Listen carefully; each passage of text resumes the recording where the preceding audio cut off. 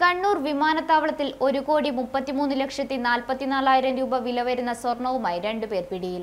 Microwave ഓവന്റെ ട്രാൻസ്ഫറിനുള്ളിൽ ഒളിപ്പിച്ചു കടത്താൻ ശ്രമിച്ച ആയിരത്തി അഞ്ഞൂറ്റി നാൽപ്പത്തിയെട്ട് ഗ്രാം ഭാരമുള്ള എൺപത്തിയെട്ട് ലക്ഷത്തി ഇരുപത്തി മൂവായിരത്തി അറുന്നൂറ് രൂപ വിലമതിക്കുന്ന സ്വർണവുമായി നാദാപുരം സ്വദേശി അബ്ദുൾ ഹക്കീം വട്ടക്കണ്ടിയും നാൽപ്പത്തി മൂന്ന് ലക്ഷത്തി ഇരുപതിനായിരത്തി അറുന്നൂറ് രൂപ വിലമതിപ്പുള്ള അറുന്നൂറ്റി തൊണ്ണൂറ്റൊൻപതും അൻപത്തിയൊൻപതും ഗ്രാം വരുന്ന സ്വർണവുമായി കാസർഗോഡ് പെരിയ സ്വദേശി മുഹമ്മദ് മുസ്തഫ ബെണ്ടിച്ചാൽ ഹുസൈനുമാണ് പിടിയിലായത്.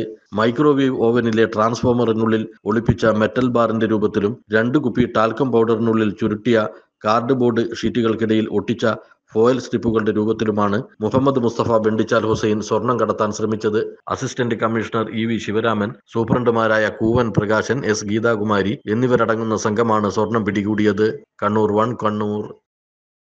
Sreechand speciality hospital S N പാർക്കിന് സമീപം കണ്ണൂർ. കണ്ണൂരിനൊപ്പം ആരോഗ്യത്തിനൊപ്പം.